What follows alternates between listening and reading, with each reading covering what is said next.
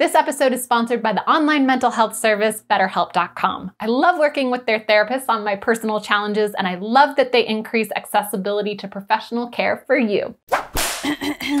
What causes fetishes? Why are some people really into rubber? How does someone get off dressed like an adult baby? I'm Dr. Lindsey Doe, clinical sexologist, doctor of human sexuality, and host of this Sex Curious show. Let me explain. Fetish is sexual attraction to an inanimate object or a body part. Think feet, clothing, rubber, leather, urine, feces. I'm not talking about fondness for these things or a preference for them, but a requirement for the object of desire to be present in fantasy or in reality in order to achieve sexual gratification. Can't get it up or get it off without fill in the blank. Diversity is one explanation. We all get turned on by different stimuli, Simple. In the words of prominent sexologist Magnus Hirschfeld, the number of fetishes is unlimited. From head to toe, there is not a single spot on the body, and from hats to shoes, there is no fold in a garment that cannot trigger a fetishistic pleasure. Maybe people are just creative. Another possible cause of fetishes is divergent thinking. Divergent thinkers are curious. They come up with a question like, why is my penis getting hard? And then they start exploring possible solutions, unlike convergent thinkers who stick to facts. In an article published by the British Society for Phenomenology, Frank Shallop proposes that fantasy must be coupled with, quote, incarnality or embodiment. So essentially, divergent thinkers in their far-reaching imaginations develop fetishes as reference point for reality, kind of like the totem in Inception. Balloons, glasses, dolls, you know where you hope this train will take you, but you can't know for sure, yet it doesn't matter. One of the most widely known hypotheses is that fetishes are caused by early childhood conditioning. Operant conditioning that the inanimate object or body part strengthens sexual arousal. For example, plushophilia, arousal from stuffed animals. If a person rubs their genitals on a toy and it feels good, all soft and squishy, this can positively reinforce doing it again and again and again. Voila, a fetish fetish for plushies may ensue. Classical conditioning is when something typically non-sexual is paired with something arousing, enough times that the non-arousing thing becomes a trigger for the arousal all on its own. Take, for example, eproctophilia, a fetish for flatulence.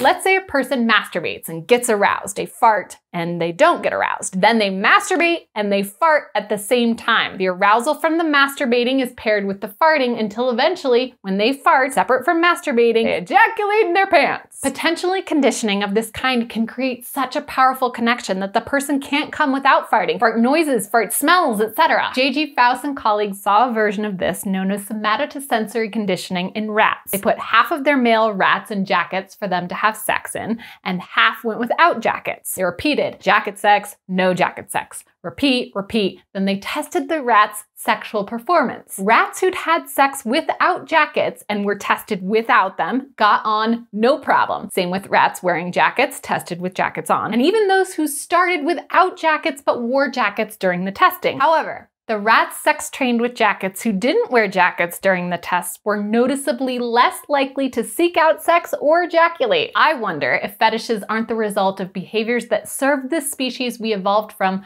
but are now less practical. Vestigial explanation. I was recently told that newborn puppies aren't very hard to clean up after because the mother stimulates them by licking their genitals and anus to expel urine and feces into her mouth. How does this relate? There's a fetish around urine called urolagnia and one for feces called coprophilia. Maybe fetishes like these are vestigial. Maybe at one point in our evolution, poop and pee were closely related to genital and anal stimulation for hygiene or nutrition, but they aren't now. Maybe fetishes are caused by a genetic mutation that reactivates this part of the genome to express a biological drive to ingest urine. There are actually many hypotheses that suggest fetishes have a biological origin. Cortical homunculus, or cortex man, is a map of how the brain manages the body. The genitals are next to the feet, so if there's any overlap or crossover in these areas, you may develop a foot fetish. Then there's the older brother hypothesis. Researchers studied 200 heterosexual men and found paraphilias, atypical attractions including fetishes, were more likely in men who, quote, had a significantly greater number of older brothers. This is often attributed to the effect successive male offspring have on the mother's hormones. John Money, a sexologist who studied sexual and gender identity, believed that fetishes are caused by vandalized regions of one's love map. According to Money, each of us has a blueprint of our ideal erotic scenario. If something distorts it, like abuse or arousal from a non sexual childhood experience, it could lead to a fetish. Compensation proposes that fetishes are formed when people can't access traditional outlets for sexual arousal because of self-doubt, shame, embarrassment, and or fear. They miss out on socially acceptable sexual gratification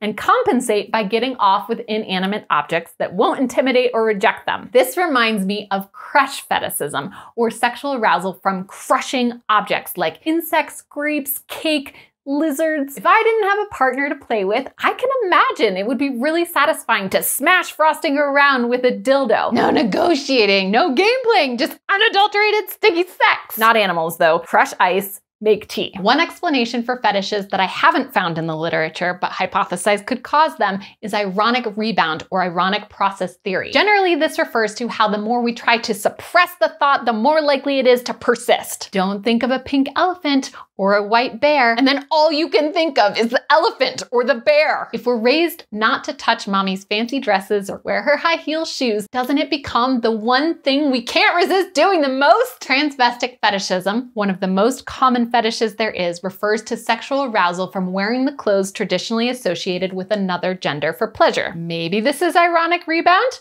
Maybe imitation, emulating someone or something that's familiar, attractive, or beneficial in some way. There are other suspected causes for people having fetishes Hirschfeld's theory of partial attractiveness, Freud's Oedipus complex, Winnicott's theory of transitional objects that the things we associate with becoming an adult are what we sexually get aroused by. Adult diaper lovers would point to comfort, making messes, and controlling humiliation. Mm -hmm. There isn't conclusive data on any of these explanations. I postulate a combination of some of them. It could be that fetishes are as natural as appetite and the actual deviation from the norm is the obsession with limiting sexual desire and expression. Stay curious. BetterHelp has licensed counselors and therapists who can help you unpack your sexuality, fetishes or otherwise. I recommend that if you're struggling with something for more than six months and it's causing you distress, affecting your job, relationships, or personal well-being, it is time to ask for help. When you sign up at betterhelp.com slash sexplanations, you'll be matched with a counselor certified by their States Board to provide therapy and counseling by phone, video calls, emails, or text messages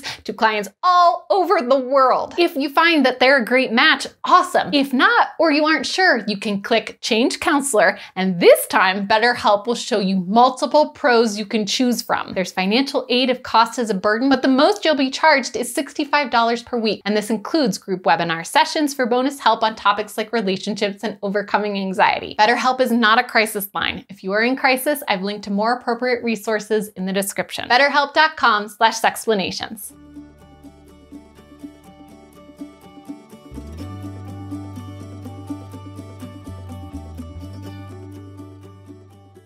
Uh. Got it.